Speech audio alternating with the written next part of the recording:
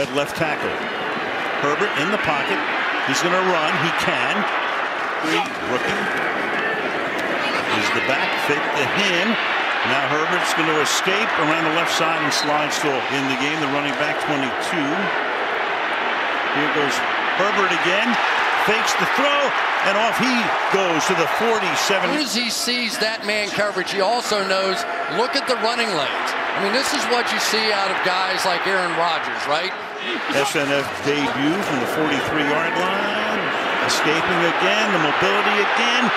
There he goes again to the 25-yard line. Well, and defensively now, you're starting to see some people in the game who typically are not in the game.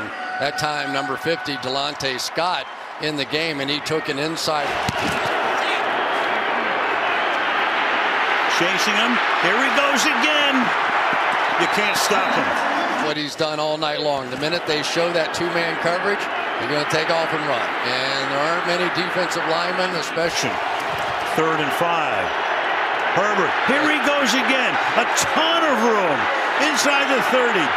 Herbert looking like Emmitt Smith. Fantastic play, first of all. You'll see Heyward chasing all the way back down the field for a defensive lineman as tired as he must be to make this play. Now, if you want to see more content like this, check out the link right here.